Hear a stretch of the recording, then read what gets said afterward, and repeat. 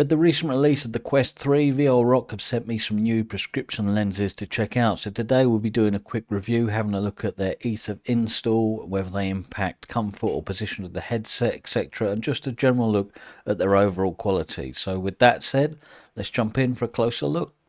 Okay, so the lenses come in this protective hard shell case. I mean, if you really give it a go, you can squeeze it in, but yeah, it is very nice and protective and comes with a rather excessive but awesome zip pull. So let's have a look.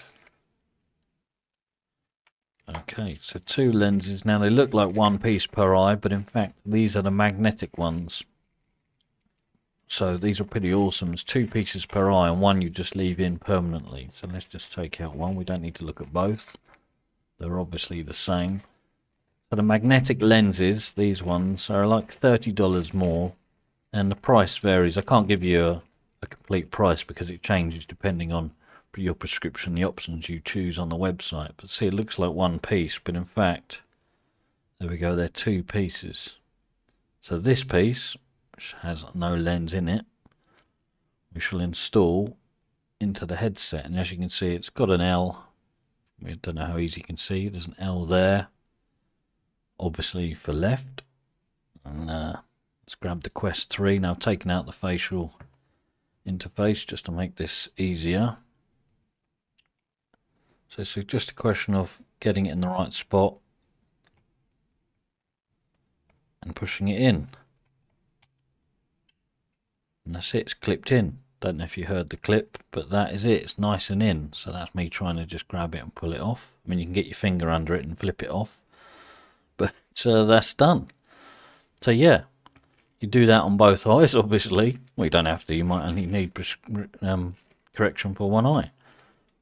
And then that's it. This is your prescription lens.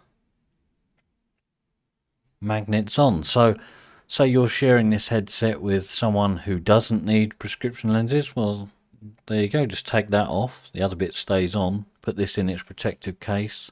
Job done. Or, of course, you may be sharing it with people who have other prescription lenses. Well, again, you just swap them over. So simple as that. Take them off and swap them over. And you can just leave this bit in. You can buy the non-magnetic ones. As I say, you save yourself 30 odd dollars. Um, I mean, that's more just a fit in once and forget. You could swap them over if you wanted, but obviously this is just more ease of use, you know, straight away. And that bit is nice and secure. Okay, so I've been having a play with the lenses in. Uh, this, by the way, is the Zyber VR Elite head straps. Pretty awesome. I've done a review on that. But if I flip the back up, you can see the lenses there are in place and they look very much at home in the Quest 3. Almost look like they're just part of the Quest.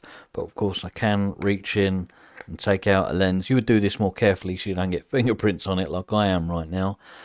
But yeah, you can see and the magnet part just stays in there. So if I need to put that away, if I don't need a lens or I need to swap to another one, Simple as that. Now, if I need to put the lens back in, again, you would do this more carefully because you're not worrying about doing it on camera. I find the easiest way just to hold it flat, grab your lens, and just hold it over and drop it and let the magnets do their job and it's back in place. Fantastic, simple as that.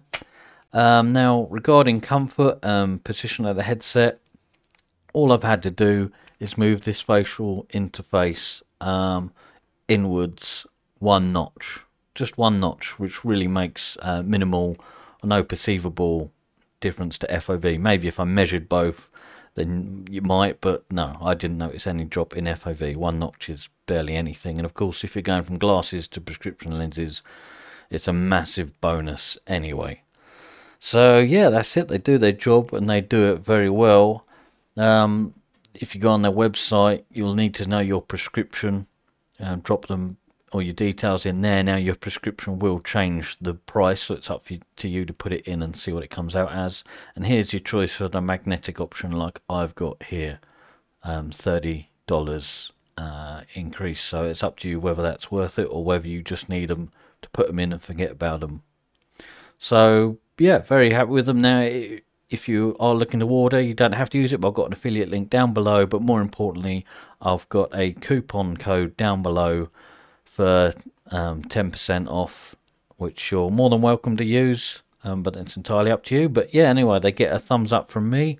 And that's it really. Any comments or questions, drop below and I'll always try to answer. Otherwise, I'll catch you later. Cheers.